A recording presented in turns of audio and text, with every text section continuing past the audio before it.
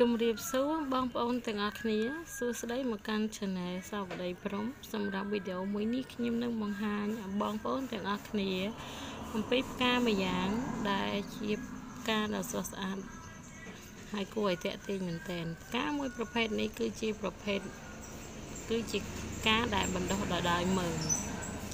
គេគឺគេអាចយកមើមវាយកមកដាំហើយវាដូចមានលក្ខណៈស្រដៀងនឹងមើមខ្ទឹមក្រហមដែរហើយវាចេញស្លឹកហើយក៏ចេញផ្កាតែម្ដង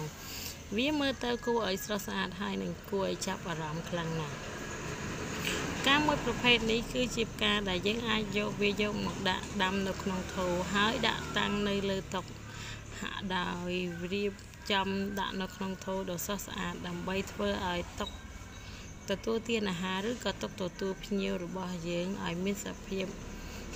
គួរឲ្យចាប់អារម្មណ៍នៅក្នុងវីដេអូនេះសិតតែបង្ហាញអំពីកម្រងរូបភាពដ៏ស្រស់ស្អាតអំពីការដាំផ្កាមួយប្រភេទនេះសម្រាប់ដាក់តាំងនៅក្នុងសម្រាប់ដាំនៅក្នុងថូ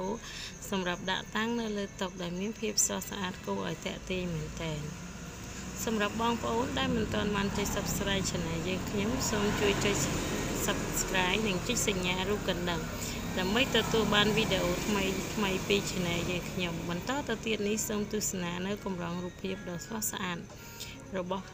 ផ្កាមួយប្រភេទនេះហើយដែលរចនា ដាក់ដាំនៅ ក្នុងធូដ៏ស្រស់ស្អាតគួរឲ្យតាក់ទាញនិងចាប់អារម្មណ៍មែនទែន